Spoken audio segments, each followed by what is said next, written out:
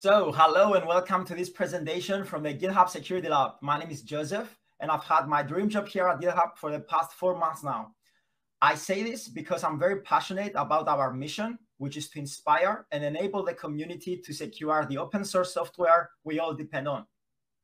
My part in that mission is to make security easy for developers, and this is why I'm here today, to use those 30 minutes to give you the superpower of securing your code like NASA did well, this is not a science fiction or a Netflix scenario. 10 years ago, when NASA's Curiosity was landing on the surface of Mars, NASA engineers performed a code review mid flight. They wanted to check the software responsible for opening the parachute of the Curiosity rover during landing on the surface of Mars. And that was when they found a bug.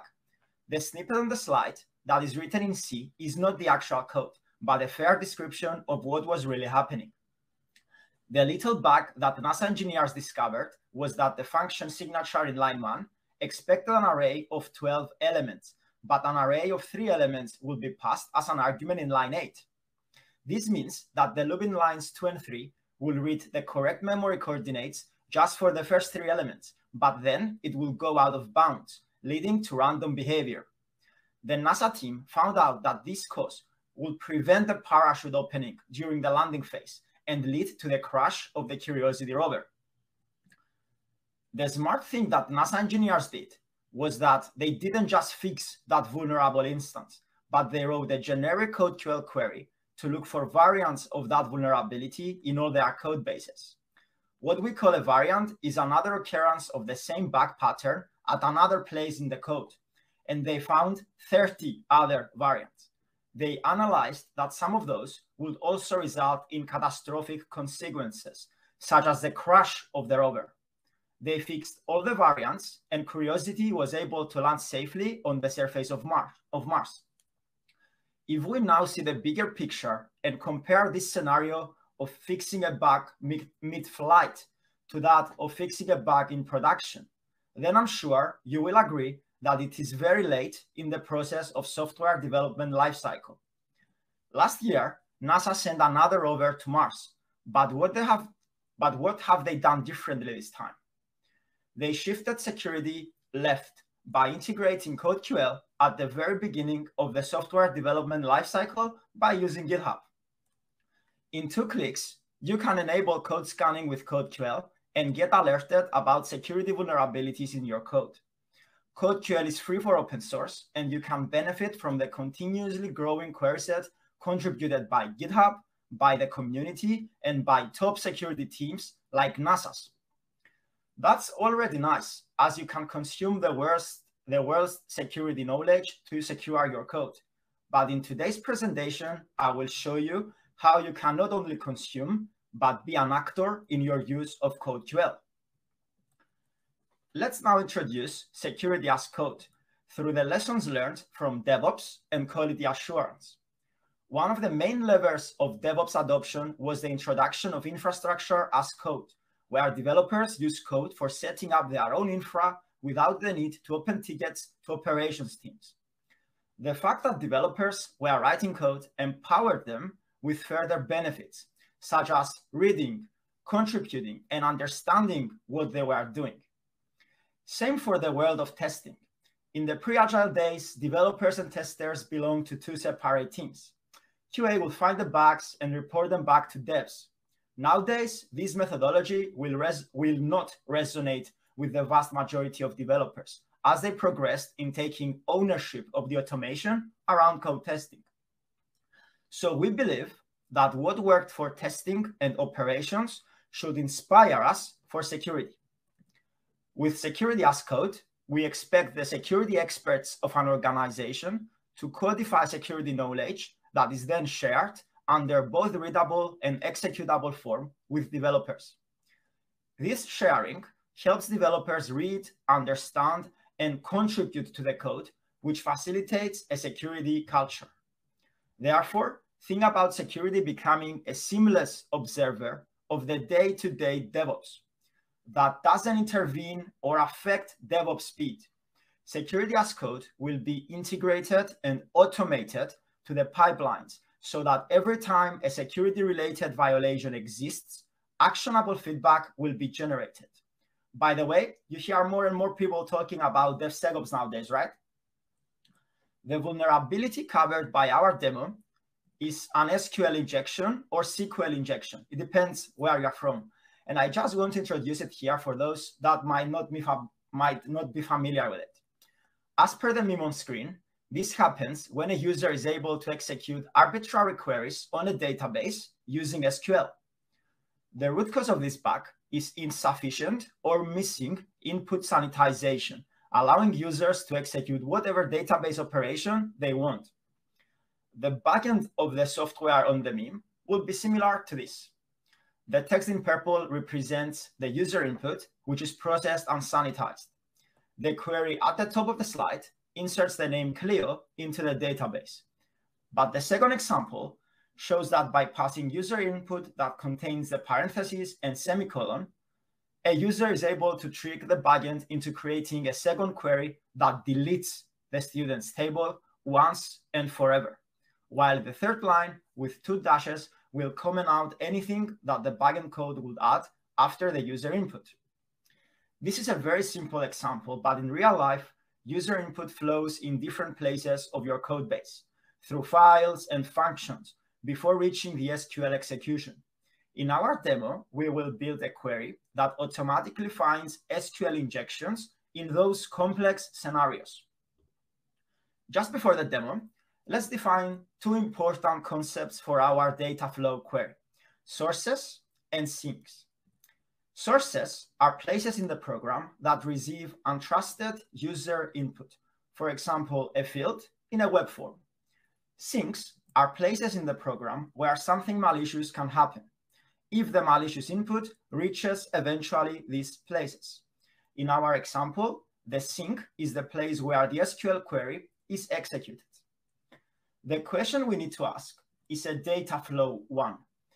Does this untrusted data ever flow to the point of executing a potentially vulnerable action?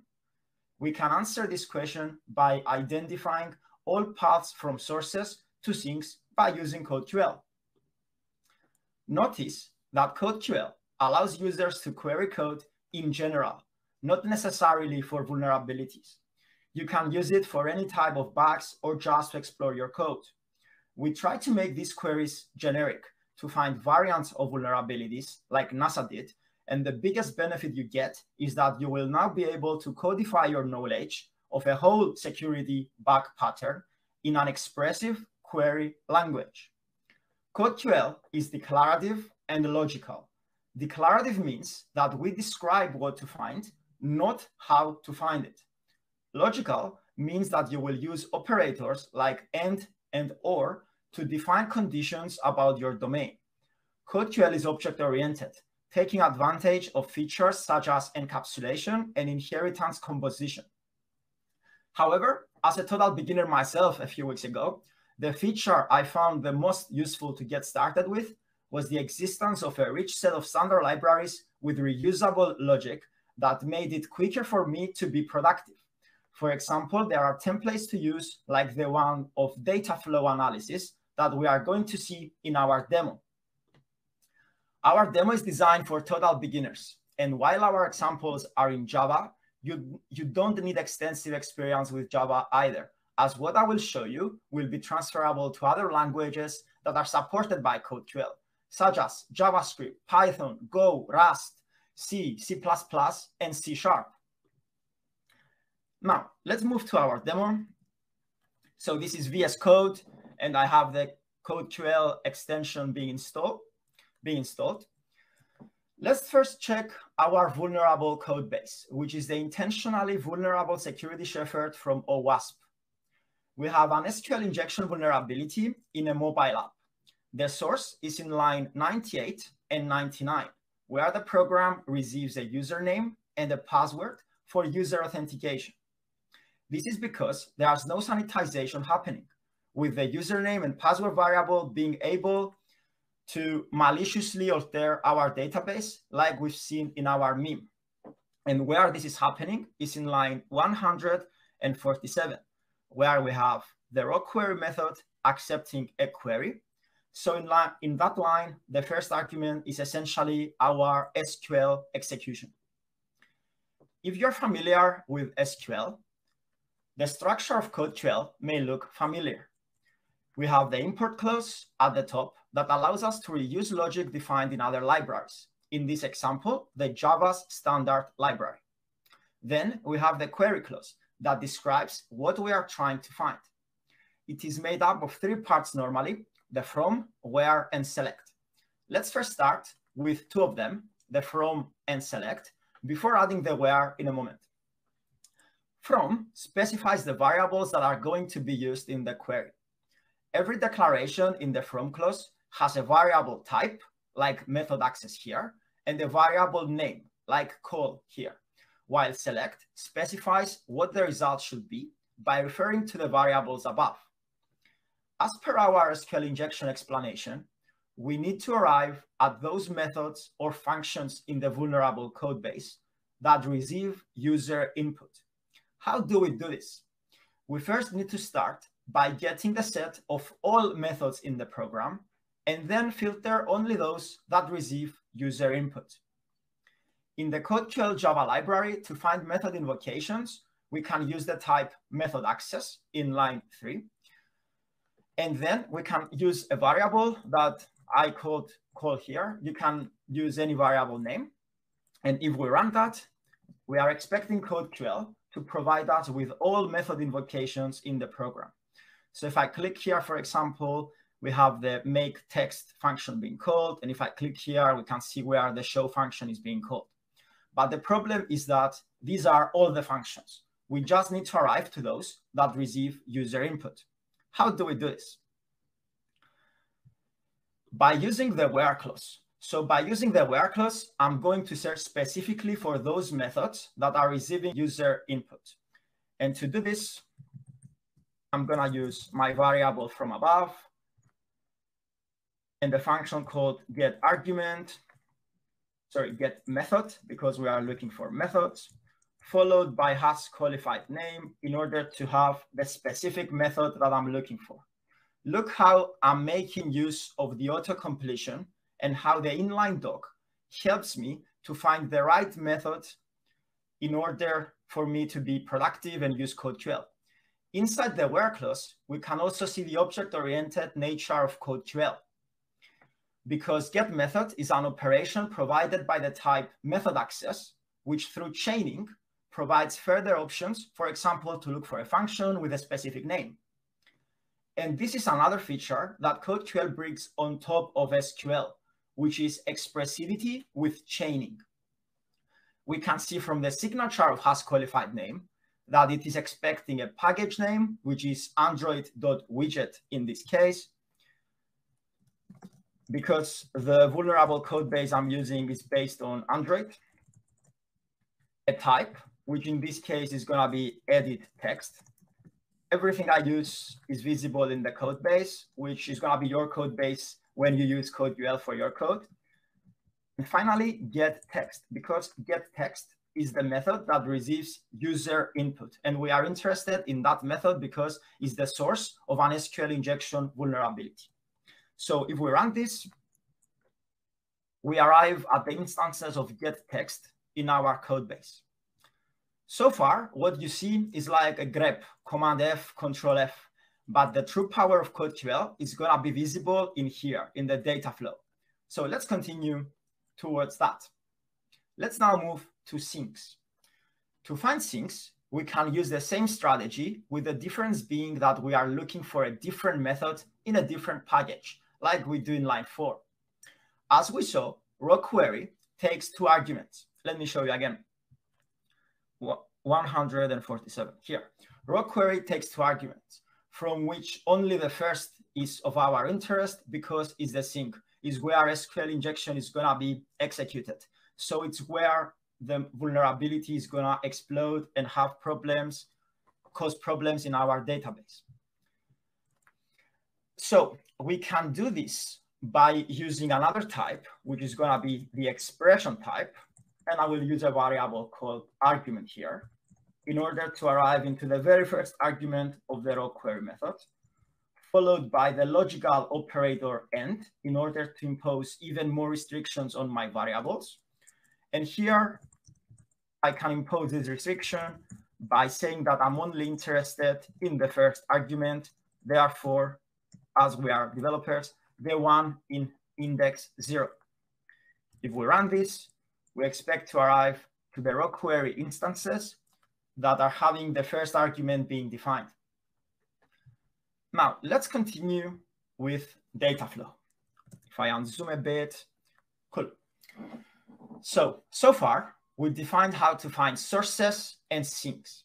Let's now move to the data flow functionality of CodeQL, which is what is going to provide us with confirmed SQL injection findings. Luckily, the language comes with a rich set of standard libraries that have ready-made templates we just have to fill, like the one in front of us. On top of the file, we have some metadata that will help CodeQL to understand what we are trying to do. Ignore them for now. We then imported the taint tracking library, which is a template configuration to, tra to track untrusted user input, followed by the data flow path graph library, which is all about the visualization of results at the end. We are defining a class here on line 11 to help us out as the taint tracking configuration is a boilerplate. So this class is extending something to help ourselves with inheritance composition and uh, the expressiveness of the language. And this is actually an example of how users can benefit from extensibility. And through classes, the expressiveness of a language is highlighted.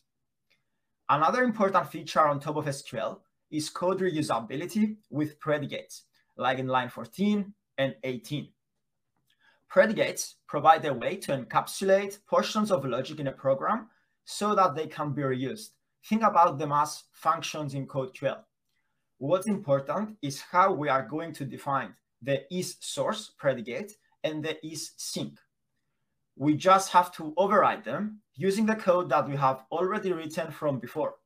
The code that we've written here and here that we are essentially, essentially going to transfer into the boilerplate.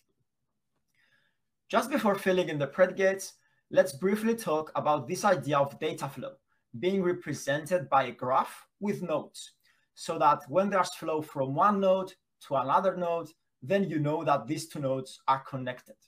And I'm saying this because the two methods here, the one in line 14 and the one in line 18, namely in source and is sink, are getting a variable of type node as input. And this is exactly to find if there exists a data flow from sources to sinks, so that if there exists, we know that we have a confirmed vulnerability, which is critical because it's an SQL injection. We can now fill the predicates with the code we have just written before. I'm gonna use the exist exists keyword here to introduce you uh, to that as well. And I'm going to explain how we can read that. So, so far, we can have, we can say that there exists a method call that is having the variable call so that if that method call is specifically get text, we have untrusted user input entering with the potential of being malicious. Let's use here the code. Oops. copying and pasting really.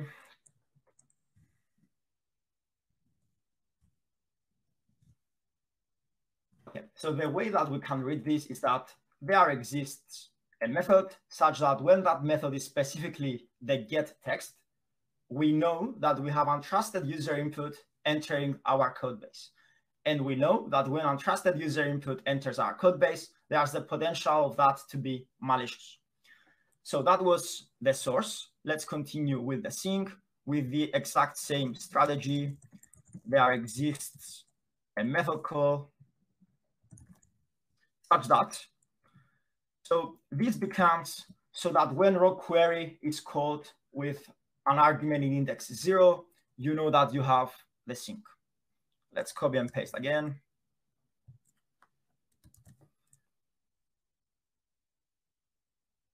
So this should become node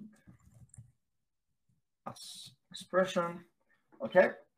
So what I've done was just filling the two uh, template placeholders with the code we've used before. And if we run that, we expect CodeQL to tell us if we have indeed SQL injections happening in our code base. So let's analyze what this says. If we click on the first SQL injection finding, we have two pathways to explore. In the first one, we know that we have the username type, the user being passed to the code base that was then passed into the login method, followed by the definition of the login method before being executed in the database. And here we have another pathway of the same variable is again the username variable. And this time, instead of going through line 102, it went through line 116. So observe here line 102 and line 116. I'm highlighting them both. You can see that in the first pathway, we have something equaling true, while in the other one, we have something equaling false. But those two pathways are both going towards an SQL injection vulnerability. And here, if we have um, a look at our other occurrence, we can see that instead of having the username variable, we have the password variable, which is following the exact same pathway as the username. Sometimes the path from a user input to the real SQL injection can be very long, with more than 10 steps across several files, functions, different places of the code base, libraries. Imagine how difficult it would be to find those manually. Let CodeQL do it for you. Back to our presentation and the final slide. Finally, you can start your CodeQL journey by visiting the following URLs that are also shared with you in the description of this stream. And here we are. Everyone, thanks for your time.